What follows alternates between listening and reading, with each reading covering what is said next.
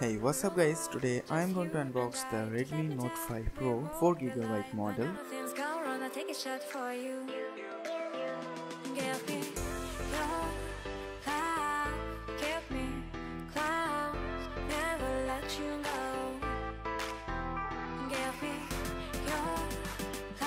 So in the box you will get the user manuals, one soft case for the phone which is pretty good in quality, one charger but it is not a fast charger, it is the regular one of 2 ampere 5 volt. This phone support fast charging but you have to buy it separately and you will get USB cable of type B. This is a disappointment because in this price they should give type C cable and one SIM ejector pin.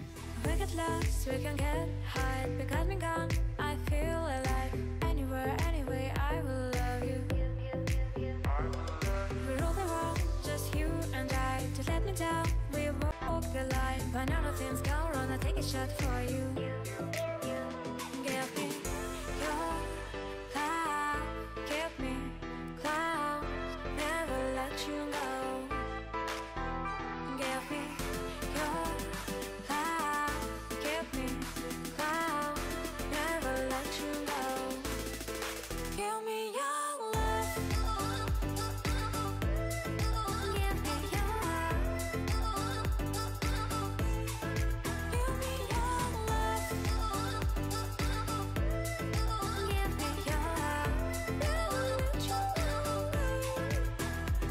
Anyway, coming to the specification, the phone comes with 5.99 inch IPS LCD Full HD Plus 18:9 display with Snapdragon 636 which is a 14 nanometer octa-core processor comes with 4 GB RAM and 64 GB internal memory. The camera is 12 MP plus 5 MP dual camera 20 megapixel front camera packed with 4000 mAh battery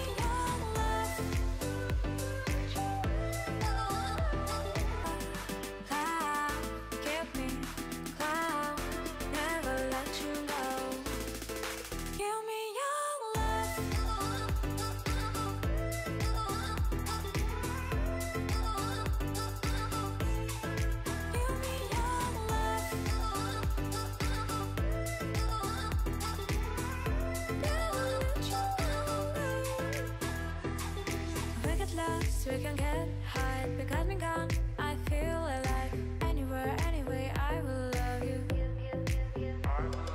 We rule the world, just you and I. To let me down, we walk the line. So after booting the phone you will get the latest MIUI 9 with the latest update but you will not get the latest Android Oreo. This phone still in Nougat version.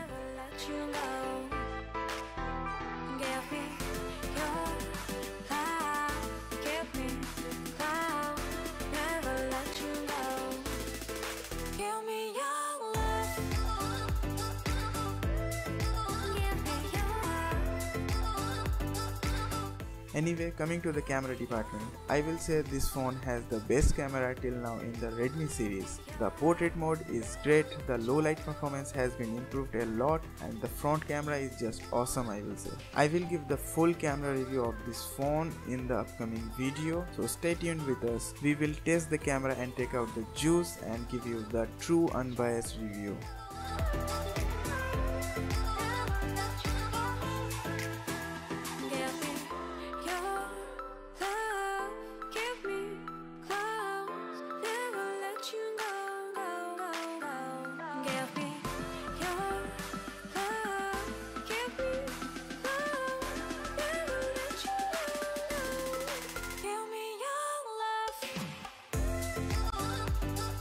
Anyway, I am Pavitra signing off. See you in the next video. Till then, take care.